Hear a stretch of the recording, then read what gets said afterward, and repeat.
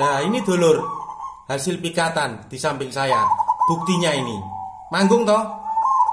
Loh ini samping saya nih. Ini hasil pikatan dulur, bukan hasil jaringan. Ye? Makanya disimak, manggung toh? Loh, manggung. Satu.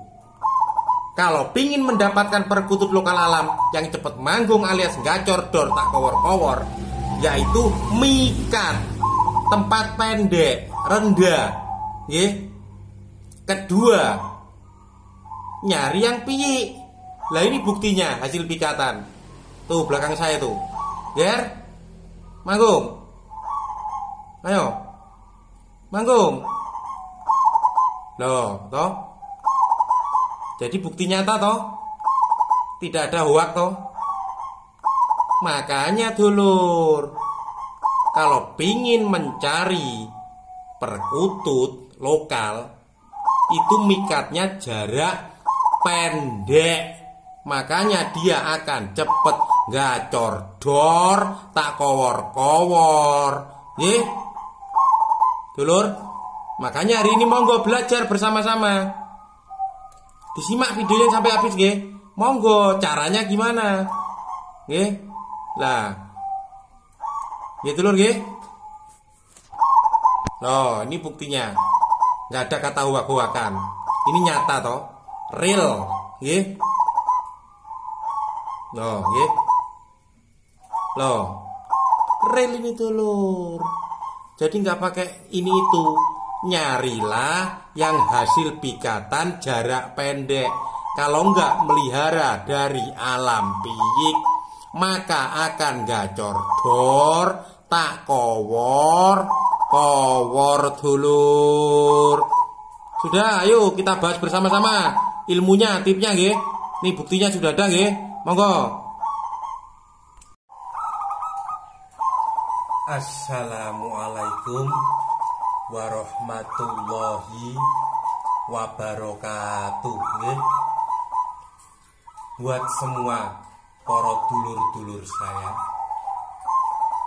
lan para sahabat-sahabat saya semuanya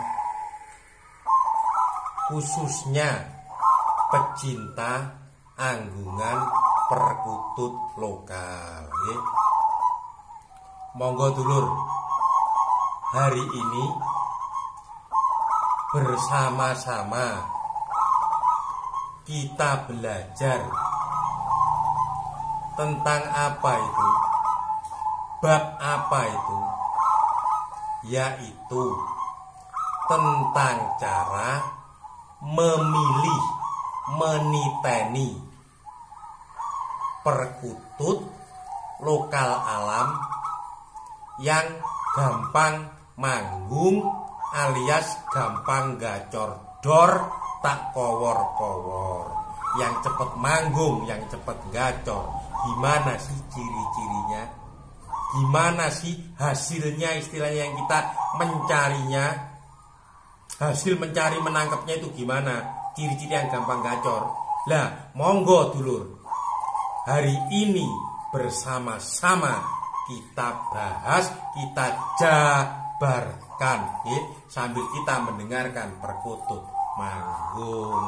Ger, kamu nggak manggung, kok bekur sono sama orang-orang itu manggung aja, jangan bekur, ya. Jadi ini dulu, sebenarnya untuk mendapatkan perkutut lokal alam dulur supaya yang gampang manggung alias gacor dor tak kowor-kowor itu sebenarnya sangat gampang dulur ya cara memilihnya gitu toh cara mendapatkannya itu sebenarnya sangatlah gampang tetapi agak butuh kesabaran. Ya mohon maaf saya sambil ngerokok sambil menjabarkan. Ya Jadi gini dulur Jenengan kalau ingin mendapatkan perkutut lokal yang gampang gacor Satu. Nah ini. Satu. Perlu diingat satu. Satu harus melihara dari alam itu. Nyari yang piyik.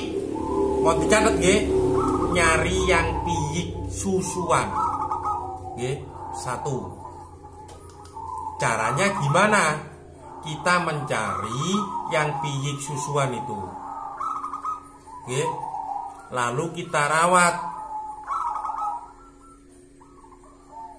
Insya Allah kita rawat 6 atau 7 bulan. Pasti dia akan gampang manggung gacor dor tak kowor kowor Oke. Kedua Ini kedua Kita cara mendapatkannya harus mikat yang dimaksud mikat bagaimana dulur? Mikat itu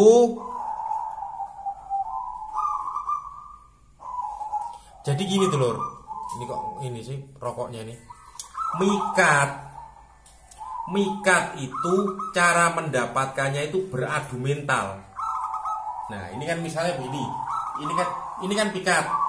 Pikat kita taruh sangkar jebak toh. Nah, beradu mental.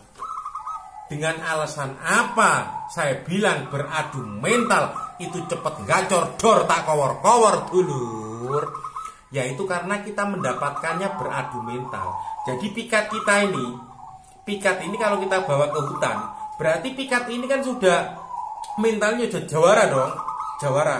Lah perkutut yang di alam bila mana kita dapatkan hasil mikat berarti kan nyamperin sang pikat kita ini. Berarti dia mentalnya sudah bagus dia sudah tidak takut. Tetapi ini ada tetapinya dulu. Mikatnya itu harus di tempat pendek atau rendah mikat masternya ini loh naruhnya. Jarak 3 meter aja. Jangan tinggi-tinggi. Orang-orang kan saya lihat itu toh kalau mikat-mikat perkutut kok juaranya kan tinggi-tinggi pakai jalak gantar jalak gantar begini dipikat tinggi. Yo nggak bakalan cepet gacor. Dengan alasan apa saya bilang perkutut mikat rendah itu gampang gacor alias manggung yaitu begini dulur perkutut yang di alam itu bila mana dia nyamperin ke bawah berarti dia punya mental sudah bagus. Sudah mau jarak pendek disamperin. Tetapi kalau kita mikatnya di tempat ketinggian dia nyamperin di ketinggian yuk perkotaan itu berarti mentalnya kurang bagus. Semakin pendek semakin bagus. Lalu hasil mikatnya jarak pendek itu toh kita bawa pulang dulu.